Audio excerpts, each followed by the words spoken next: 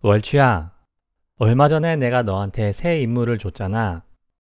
외국인이 한국말을 들을 때 가게를 카게로 듣고 내를 내로 듣는 경우가 있다고 했는데 그 원인 좀 알아냈어? 그거에 대해서 내 나름대로 만든 이론은 있는데 아직은 이 이론에 대해서 테스트할 게 많아. 이론? 설명 좀 해줄래? 우선 내가 외국어를 잘 모르기 때문에 뭐 영어는 그나마 좀 익숙하긴 하지만 비교 대상에 한계가 있어. 그래도 암튼 내가 연구한 바에 따르면 일단 한국어에서는 가 라는 발음이랑 카 라는 발음의 가장 큰 차이는 입에서 내보내는 바람의 강도야. 입에 손을 대고 비교해봐. 가, 카, 가, 카. 이 차이는 아 라는 발음이랑 하 라는 발음의 차이랑 비슷하다고 보면 돼. 하를 발음할 때 목안 깊은 곳에서 바람을 강하게 내보내잖아.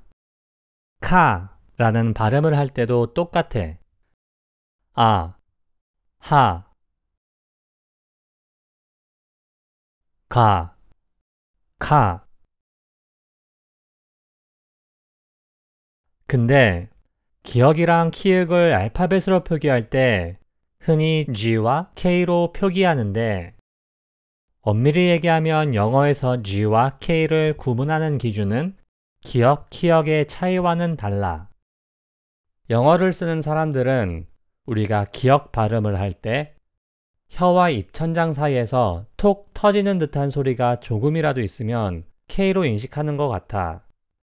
그래서 영어 쓰는 사람들에게는 가, 카 둘 다 K로 들리고 G로 들리게 하려면 가 혀와 입천장 사이에 힘을 살짝 더 줘서 톡 터지는 듯한 소리를 완전히 뺀 채로 발음해야 돼.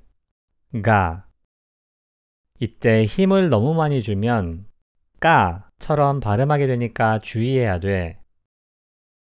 그러니까 카, 가, 가 이 세 가지의 발음을 가지고 비교해 보면 이 두 경우는 앞부분에 살짝 톡 터지는 듯한 소리가 그래프에도 나타나는데 가 라는 소리에는 그런 터지는 듯한 소리가 나타나지 않아.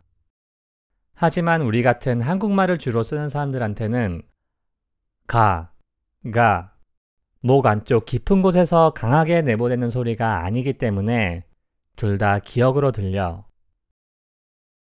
즉, 카 라는 소리랑 가 라는 소리는 한국어를 쓰는 사람이나 영어를 쓰는 사람이나 구분해서 인식하지만 가 라는 소리는 한국어를 쓰는 사람한테는 기억으로 영어를 쓰는 사람한테는 K로 분류가 돼. 소리를 분류하는 기준이 다르기 때문이야. 오, 좋아. 근데 가게라는 단어를 카게로 듣는 외국인이 많다고 했잖아.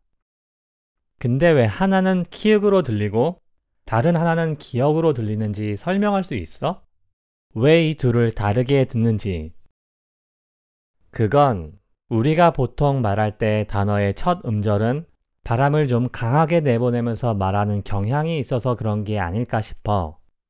그래서 살짝 톡 터지는 듯한 소리를 무의식적으로 낸다든지 해서 말이야.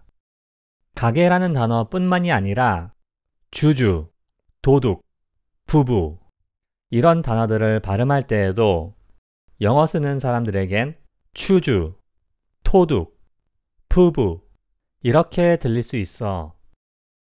영어 쓰는 사람들한테 이 첫 자음들이 J, D, B로 들리게 하려면 주주가 아니라 주주, 도둑이 아니라 도둑, 부부가 아니라 부부 이런 식으로 첫 음절을 시작할 때 살짝 터지는 듯한 소리를 완전히 뺀 채로 발음해야 돼. 좋아. 그럼 다음 질문. 내를 내라고 듣는 경우가 있는데 원인이 뭘까? 그거에 대해선 더 많은 관찰이 필요했는데 내 생각에는 내라고 발음할 때 혀 끝이랑 입천장 사이를 붙였다가 떼는 과정에서 의도하지 않게 약간의 니 소리가 나기도 하는데 한국 사람들은 그러한 소리에 별로 민감하지 않아서 대라고 확실하게 디귿 소리를 내지 않는 이상 니은으로 인식하는데 영어를 쓰는 사람들은 그러한 소리에 비교적 민감해서 in 발음을 할 때 D 소리가 약간이라도 나지 않도록 좀 더 신경 써서 발음하는 것 같아.